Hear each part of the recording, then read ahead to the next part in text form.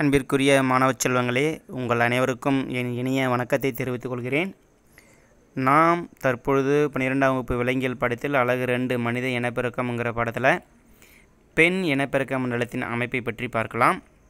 Structure of female reproductive system அந்த லெசனை தான் நம்ம பார்க்க போகிறோம் அந்த டாப்பிக்கை வாங்க லெசனுக்கு போயிடலாம். பெண் இனப்பெருக்க மண்டலம். பெண் இனப்பெருக்க உறுப்பு என்ன? அப்படின்னு சொல்லி கேட்டால் நீங்கள் உடனடியாக சொல்லணும். என்னன்னு சொல்லுவீங்க? அண்டகம். பெண் இனப்பெருக்க உறுப்பு அண்டகம். ஆண் இனப்பெருக்க உறுப்பு விந்தகம் அப்படின்னு நம்ம சொல்கிறோம் சரி. இப்போ ஆண் இனப்பெருக்க மண்டலத்தை விட பெண் இனப்பெருக்க மண்டலம் சிக்கலானது. ஏன் சிக்கலானது அப்படின்னு நம்ம சொல்கிறோன்னா பெண்ணுக்கு நிறைய ஹார்மோன்கள் சுரக்கிறது. ஆணுக்கு ஒரே ஒரு ஹார்மோன் தான். டெஸ்டோஸ்டிரான் அல்லது ஆண்ட்ரோஜன்னு சொல்லுவோம். அது ஒரு ஹார்மோனோட சரி. ஆனால் பெண்ணுக்கு ஈஸ்ட்ரோஜன் என்று சொல்லக்கூடிய ஒரு ஹார்மோன் சுரக்கும் ப்ரோஜெஸ்ட்ரான் சுரக்கும் ஆக்சிடாசின் சுரக்கும் ரிலாக்ஸின் சுரக்கும் நிறைய ஹார்மோன் சுரக்குது. அப்போ நிறைய அமைப்புகளும் இருக்குது. சிக்கலான அமைப்பில் இருக்குது கருப்பை இருக்குது அண்டகங்கள் இருக்குது அண்டநாள புனல் பெலோபியன் குழாய் இது போன்ற நிறைய அமைப்புகள் இருக்குது அப்படின்னு நம்ம சொல்கிறோம் சரி. அப்போ ஆண் இனப்பெருக்க மண்டலத்தை விட பெண் இனப்பெருக்க மண்டலம் சிக்கலானது. ஏன் சிக்கலானதுன்னு சொன்னால் நான் இப்போ சொன்னேன் அந்த காரணம் இல்லாமல் அப்போ பெண் இனப்பெருக்க மண்டலத்தில் தான் அதாவது கருப்பை என்று சொல்லக்கூடிய அந்த உறுப்பில் தான் அந்த கருவே பத்து மாதம் பத்து மாதவிடாய் சுழற்சி வளர்க்கப்படுகிறது. வளர்த்து அந்த கருவிற்கு தேவையான உணவூட்டத்தை கொடுப்பது எல்லாமே பெண் இனப்பெருக்க மண்டலம் தான் அதனால் ஆணை விட பெண்ணுக்கே முக்கியத்துவம் அதிகம். அப்போ பெண் இனப்பெருக்க மண்டலத்தில் இருக்கக்கூடிய உறுப்புகள் பாரு என்னென்ன உறுப்புகள் இருக்குது பாருங்கள் ஓரிணை அண்டகங்கள் ஓவரிஸ். ஓரிணை ஒரு ஜோடி அண்டகம் இருக்குது ஆண்களுக்கு ஒரு ஜோடி வெந்தகம் இருக்கிற மாதிரி பெண்களுக்கு ஒரு ஜோடி அண்டகம் இருக்குது அப்புறம் அண்ட நாளங்கள் அதுவும் ஓரிணை அண்ட நாளங்கள் இருக்குது ஓரிணை அண்டகங்கள் ஓரிணை அண்ட நாளங்கள் ஒரு கருப்பை இருக்குது கருப்பை வாய் செர்விக்ஸ்னு சொல்கிறோம் பாரு அது இருக்குது பெண் கலவி கால்வாய் இருக்குது புற இனப்பெருக்க உறுப்பு இருக்குது இதெல்லாம் சேர்ந்து தான் பெண் இனப்பெருக்க மண்டலம். இப்போ பெண் இனப்பெருக்க மண்டலத்தை பார்த்தீங்கன்னா இது சிம்பிளாக சைடு வியூவில் உங்களுக்கு கொடுத்துருக்காங்க. இப்போ இதுதான் அண்டகம். ஆக்சுவலாக இந்த பக்கம் ஒரு அண்டகம் இருக்கும் இந்த சைடு ஒரு அண்டகம் இருக்கும். இந்த அண்டகத்துலேருந்து இப்படியே வருது பாருங்கள் இது வந்து பெலோப்பியன் குழாய் அப்படின்னு பேர். பெலோப்பியன் குழாய். இப்படியே வந்து இது கருப்பை. கருப்பையில் வந்து ஜாயிண்ட் ஆகுது. கருப்பையில் வளரக்கூடிய அந்த கருவானது நேராக இப்படியே பிறப்பு கால்வாய் கருப்பையினுடைய கழுத்து பகுதிக்கு வந்து பிறப்பு கால்வாய் கலவை கால்வாய் வழியாக வெளியில் வந்துடும் அப்போ இது என்ன சார்? இதுதான் சிறுநீர் பை. சிறுநீர் பை சிறுநீர் நாளத்தின் மூலமாக இப்படி வெளியில் வரும். இது என்ன சார்? இதுதான் வந்து மலக்குடல் மலம் தேக்கி வைக்கக்கூடிய இடம். மலக்குடல் மலக்குடலில் தேய்க்கக்கூடிய மலம் வந்து மலவாய் வழியாக அப்படி வெளியே அப்போ பெண்களை பொறுத்தளவு மூணு ரூட் இருக்குது மலம் வெளியேறுவதற்கு ஒரு ரூட்டு கரு வெளியேறுவதற்கு பிறப்பு குழாய் அது ஒரு வழி. சிறுநீர் வெளியேறுவதற்கு சிறுநீர் வழி குழாய் இது ஒரு வழி.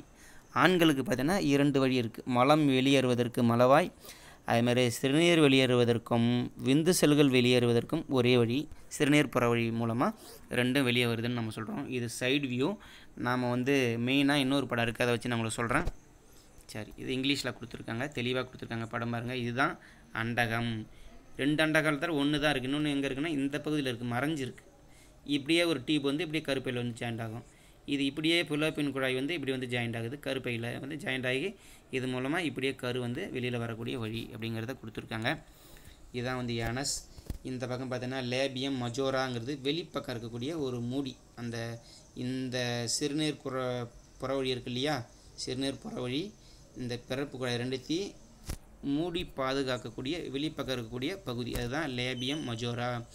அதுக்கு லேபியம் மஜோராவுக்கும் உள்பகுதியில் ஒன்று இருக்கும். ஒரு ஒரு இதழ் மாதிரி ஒன்று இருக்கும். அது லேபியம் மைனோரா அப்படின்னு நம்ம சொல்கிறோம் அந்த சிறுநீர் புறவழிக்கு மேலே ஒரு பகுதி இருக்கும். அதுக்கு பேர் சுமரி பகுதி அல்லது கிளிட்டோரிஸ் அப்படின்னு நம்ம சொல்கிறோம் எல்லாம் பெண் இனப்பெருக்கம் நிலத்தில் இருக்கக்கூடிய பகுதிகள். சரி. ஓரிணை அண்டகங்கள் ஓவரிஸ்ன்னு நம்ம சொல்கிறோம்ல இதுதான் பெண் இனச்சல் இதுக்குள்ளே தான் உற்பத்தி ஆகுது. இதுதான் பெண் இனப்பெருக்க உறுப்புகள்லாம் முதன்மையான உறுப்பு எதுன்னா அண்டகம்தான். மீதெல்லாம் துணை இனப்பெருக்க உறுப்பு தான். முதன்மை இனப்பெருக்க உறுப்பு அண்டகம்தான். அப்போ இரண்டு இருக்கும். அதாவது வலது ப அடி வயிற்று பகுதியில் வலது பக்கம் ஒன்று இருக்கும் இடது பக்கத்தில் இருக்கும். அண்டகத்தினுடைய சைஸ் பார்த்தீங்கன்னா ரெண்டுலேருந்து நான்கு சென்டிமீட்டர் நீளம் கொண்டவையாக இருக்கும் அண்டகம்னு சொல்கிறாங்க இதுக்குள்ளே கனசதுர வடிவ எபித்தீலியல் செல்கள் இருக்கும் அப்படிங்கிறாங்க. அதோல் இனச்சல் எபித்தீலியம் இருக்கு இல்லையா? அந்த இனச்சல் எபித்தீலியத்துக்கு அந்த இனச்சல் எபித்தீலியத்தில் என்ன என்ன வகையான எபிதிலிய செல்கள் இருக்குன்னா கனசதுர வடிவ எபிதிலிய செல்கள் இருக்குது அப்படின்னு சொல்கிறோம் அப்போ அந்த அண்டகத்துக்குள்ளே இருக்கிறது தான் நம்ம வந்து ஒவேரியன் ஸ்ட்ரோமா அண்டக பகுதி ஒவேரியன் ஸ்ட்ரோமா அப்படின்னு நம்ம சொல்கிறோம் அப்போ அந்த அண்டகத்தை கிராஸ் செக்ஷன் எடுத்து பார்த்தோன்னா வெளிப்பகுதி உள்பகுதின்னு இரண்டு இருக்கும். வெளிப்பகுதிக்கு பேர் புரணி அல்லது கார்டெக்ஸ் அப்படின்னு பேர். உள்பகுதிக்கு மெடுல்லான்னு பேர். இப்போ டியூனிக்கா விந்தகத்தில் எப்படி டியூனிக்கா அல்புஜீனியான்னு நம்ம சொன்னோம்ல அது மாதிரி அண்டகத்தை சுற்றி மேலே ஒரு நாரிழை தன்மை கொண்ட ஒரு இணைப்பு திசு இருக்கும் வெளிப்பகுதியில். அந்த வெளிப்பகுதியில் இருக்கக்கூடிய அந்த இணைப்பு திசுக்கு பேர் தான் டியூனிக்கா அல்புஜீனியா இதான் அண்டகம் இருக்குன்னா அந்த அண்டகத்துக்கு வெளியில் அவுட்டர் சைடில் ஒரு இணைப்பு திசு இருக்கும். அதுதான் டியூனிக்கா அல்பிஜீனியா அப்படின்னு பேர். சரி. அப்போ வெளிப்பகுதியில் டியூனிக்கா அல்பிஜீனியா இருக்குது உள் அதுக்கு உள் பகுதியில் பார்த்தீங்கன்னா கார்டெக்ஸு அதுக்கப்புறம் உள் பகுதியில் பார்த்தீங்கன்னா மெடுல்லா இந்த கார்டெக்ஸ் பார்க்குறதுக்கு ரொம்ப டார்க்காக டென்சிட்டியாக இருக்கும் அடர்த்தியாக இருக்கும்னு சொல்கிறாங்க ஏன் அடர்த்தியாக இருக்குன்னா அப்போ சிறிய சிறிய வளரும் நிலையில் உள்ள அண்டக நுண்பை ஃபாலிக்கல் செல்கள் அந்த கார்டெக்ஸில் தான் அதிகமாக இருக்குது அப்படிங்கிறாங்க.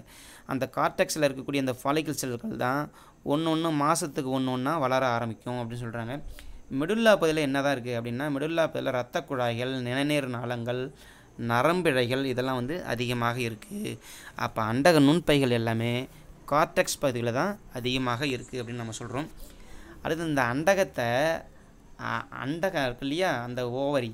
அந்த ஓவரியை இடுப்புச் சுவரோடையும் கருப்பையோடையும் இணைக்கக்கூடிய ஒரு திசு தான் எதுன்னா மீசோவேரியம். ஈஸியாக ஞாபகம் வச்சுக்கலாம். மீசோவேரியம்.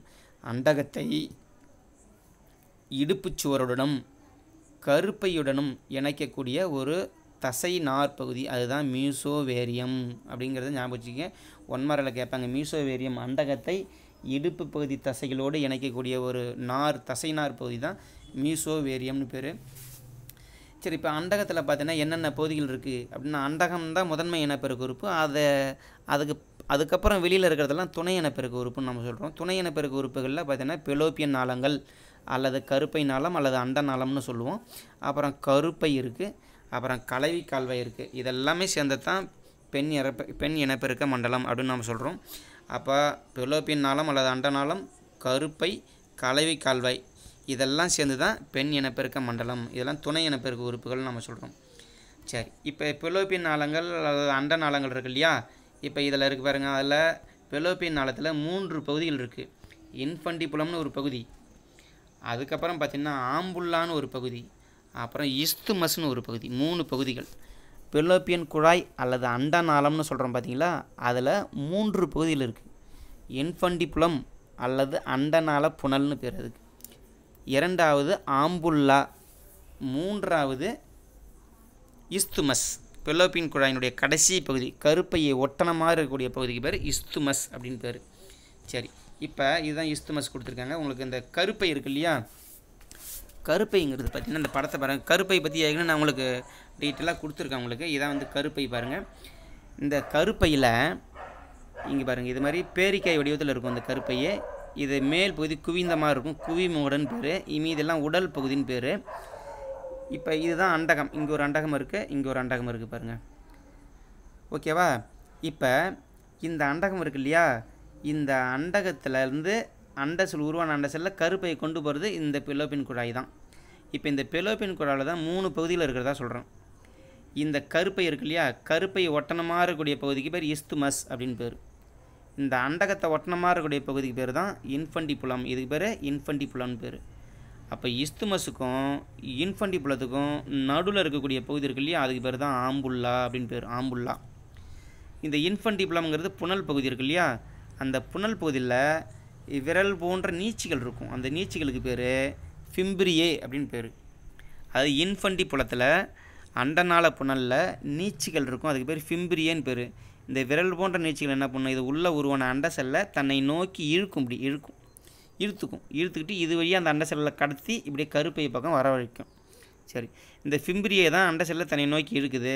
அதுக்கப்புறம் இன்ஃபண்டிபுலம் இந்த ஒரு அகன்ற பகுதி தான் இந்த பகுதி தான் இன்ஃபண்டிபுலம்னு பேர். அதுக்கப்புறம் வரக்கூடிய பகுதி ஆம்புல்லான்னு பேர். இந்த ஆம்புல்லாவில் தான் கருவுறுதல் நடக்குது. உருவான விந்து செல் இப்படியே ஆண்லேருந்து உருவான அந்த விந்து செல் இப்படியே கருப்பையை போய் நோக்கி இந்த ஃபெலோப்பின் குழாயை நோக்கி இப்படியே வரும். இங்கே ஆம்புல்லாவில் வந்து அண்ட செல்லோடு சேர்ந்துடும் அப்போ இங்கே தான் கருவுறுதல் நடக்குது. அதுக்கப்புறம் இஸ்துமஸ். அந்த இஸ்துமஸ்ங்கிறது கடைசியாக இருக்கக்கூடிய பகுதி. அந்த இஸ்துமஸ் தான் என்ன பண்ணுது? இந்த அண்ட நாளத்தை கருப்பையோடு இணைக்குது. இஸ்துமஸ்ங்கிற பகுதி. இதுதான் கருப்பை அப்படின்னு சொல்கிறோம். கருப்பையினுடைய இது ஒரு ரொம்ப ஸ்ட்ராங்கான மசில்ஸாம் உடம்புல இருக்கிறதுலே அதிக வலுவான ஒரு தசையுடைய பகுதி எந்த பகுதினா கருப்பை. கருப்பையில் மூன்று அடுக்குகள் இருக்குது உள்ளடுக்கு எண்டோமெட்ரியம்னு பேர். நடு அடுக்கு மயோமெட்ரியம்னு பேர். வெளியடுக்கு பெரிமெட்ரியம்னு பேர். மூன்று அடுக்கில் இருக்குது உள்ளடுக்கு எண்டோமெட்ரியம் நடுடுக்கு மயோமெட்ரியம் வெளியடுக்கு பெரிமெட்ரியம்னு பேர். இந்த எண்டோமெட்ரியம் தான் பார்த்திங்கன்னா முக்கியமான அடுக்கு. மாதவிடாய் சுழற்சியில் மாற்றங்கள் ஏற்படக்கூடிய அடுக்கு. இந்த எண்டோமெட்ரியம்ங்கிற அடுக்கு. இதை கருப்பையினுடைய கழுத்து பகுதி அதான் செர்விக்ஸ்னு நம்ம சொல்கிறோம் அப்போ அந்த செர்விக்ஸ்லேருந்து கீழே இருக்கக்கூடிய அந்த பகுதி பேர் செர்விக்ஸ் கெனால். கருப்பை கால்வாய் பகுதி அப்படின்னு பேர். அதுக்கப்புறம் அதுக்கப்புறம் வெளிப்பகுதியில் இருக்கிறது தான் கலவி கால்வாய் அப்படின்னு பேருங்க. அதுக்கப்புறம் தான் வெஜைனா அப்படிங்கிற பகுதியில் இருக்குது இது கருப்பையினுடைய அமைப்பு தனியாக நீங்கள் கிளிப்பிங் வீடியோவில் ஸ்ட்ரக்சர் ஆஃப் யூட்ரஸ்ன்னு போட்டிங்கன்னா டீட்டெயிலாக வரும். நீங்கள் அதில் பார்த்துக்குங்க. இப்போ கருப்பையில் நான் சொன்ன பகுதியெல்லாம் இதில் இருக்குது கருப்பையில். கருப்பையில் இருக்கிறது தான் அந்த மூன்று திசுக்கள் மூன்று அடுக்குகள் இருக்கு இல்லையா? பெரிமெட்ரியம் மயோமெட்ரியம் எண்டோமெட்ரியம் அப்படிங்கிற அந்த மூன்று அடுக்குகளை பற்றி கொடுத்துருக்காங்க. அது பார்த்துங்க கருப்பை கால்வாய் பகுதி.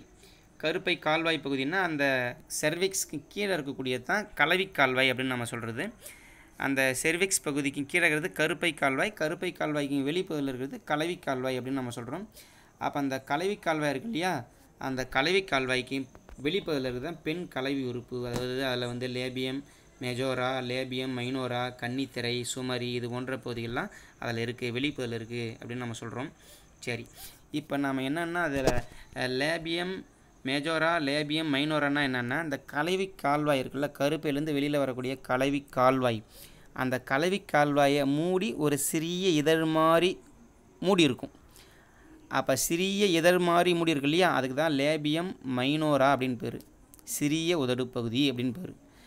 அப்போ அந்த சிறிய உதடக்கு மேலே ஒரு பெரிய மூடி ஒன்று இருக்கும். பெரிய உதடு மாதிரி ஒரு பகுதி இருக்கும். அதுக்கு லேபியம் மேஜர் அல்லது பேரிதழ் அப்படின்னு பேர். அப்புறம் அந்த கன்னித்திரைங்கிறது பார்த்திங்கன்னா அந்த பிறப்பு குழாய் இருக்கு இல்லையா? பிறப்பு குழாய். அந்த லேபியம் மைனர்னு சொன்னாலே சிறிய உதடு. அது உள்ளே இருக்கக்கூடிய பிறப்பு குழாய். அந்த பிறப்பு குழாயை மூடி இருக்கக்கூடிய ஒரு சவ்வு. அதுதான் வந்து கன்னித்திரை அப்படின்னு நம்ம சொல்கிறோம் சரி.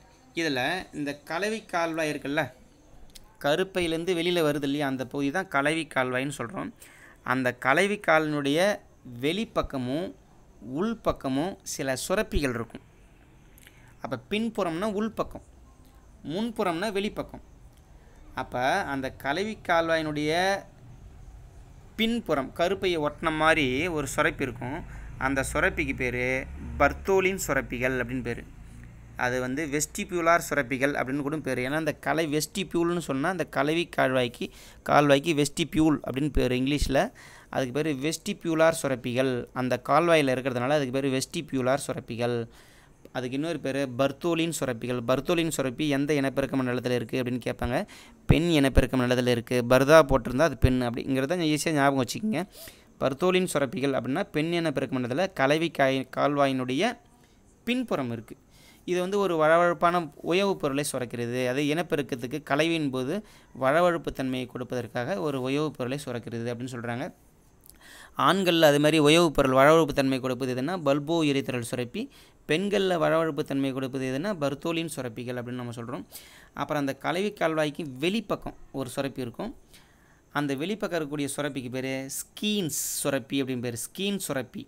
இது வெளிப்பக்கத்தில் இருக்குது இதுவும் ஒரு லூப்ரிகேஷன் அதை லூப்ரிகேஷனுக்காக இதுவும் இருக்குது உயவு பொருளை சுரக்குது வளவழப்பு தன்மை கொடுப்பதற்காக இதுவும் அந்த சுரப்பி இருக்குது அப்படிங்கிறாங்க. ஸ்கின் சுரப்பி. இது ஆண்களில் ப்ராஸ்டேட் சுரப்பி இருக்குது இல்லையா? ப்ராஸ்டேட் சுரப்புக்கு இணையாக இந்த சுரப்பி இருக்குது அப்போ ஆண்களில் ப்ராஸ்டேட் சுரப்பி இருக்குது அது பெண்களில் அந்த ப்ராஸ்டேட் சுரப்பிக்கு பதிலாக அந்த ஸ்கின் சுரப்பி இருக்குது அப்படின்னு நம்ம சொல்கிறோம் பாரு மனித உடலில் வலுவான தசைகளில் பெண்ணின் உடலில் உள்ள தசை என்ன அப்படின்னு சொன்னால் கருப்பை தசை தான் அப்படின்னு சொல்கிறாங்க முக்கியமான ஒரு ஜிகே கொஷினை பார்த்துக்குங்க சரி. இந்த கன்னி திரைன்னு சொன்னல அந்த கலவி கால்வாயினுடைய வெளிப்பக்கம் அவுட்ரு சைடில் இருக்கக்கூடிய ஒரு மெல்லிய ஒரு வளைய வடிவத்திலான ஒரு திசு தான் அந்த கன்னித்திரை அப்படின்னு நம்ம சொல்கிறது இது பெரும்பாலும் முதல் கலவியின் போது திருமணம் ஆனவுடனே முதல் கலவியின் கலவியின் போது அந்த கன்னித்திரையை வந்து கிழிஞ்சிரும் அப்படின்னு சொல்கிறாங்க ஆனால் இப்போ இந்த காலத்தில் பெண்களில் பார்த்தோன்னா பெண்கள் எல்லா வேலையுமே செய்கிறாங்க எக்ஸசைஸ் பண்ணுறாங்க ஃபிசிக்கல் எக்ஸசைஸு ஓடுறாங்க மரம் ஏறுறாங்க சைக்கிள் ஓட்டுறாங்க. பைக் ஓட்டுறாங்க. இது மாதிரி குதிரை சவாரி செய்கிறாங்க இது போன்ற செயல்பாடுகளின் மூலமாக அந்த கன்னித்திரை வந்து ஆட்டோமேட்டிக்காக கிழிஞ்சு போயிடும் அப்படின்னு சொல்கிறாங்க அப்போ அந்த கன்னித்திரை என்ன? அந்த காலத்தில் கன்னித்திரையை கிழிஞ்சிருந்தால் வந்து கருப்பு பறி போயிடுச்சு அப்படிங்கிற மாதிரி சொல்லுவாங்க. இப்போல்லாம் அது மாதிரி கிடையாது. கன்னித்திரை வந்து திருமணத்துக்கு முன்னே முன்னவே அது வந்து கிழிக்கப்படுகிறது அப்படின்னு சொல்கிறாங்க சில செயல்களின் மூலமாக கிழிக்கப்படுகிறது அப்படின்னு சொல்கிறாங்க இதை பெண் இனப்பெருக்க மண்டலத்தினுடைய அமைப்பு இது ஒரு ஐந்து மதிப்பெண் வினாக்களில் கேட்கக்கூடிய கொஸ்டின்னு இதை பார்த்துங்க. அடுத்த டாப்பிக்கை அடுத்த வீடியோவில் நம்ம பார்க்கலாம். நன்றி.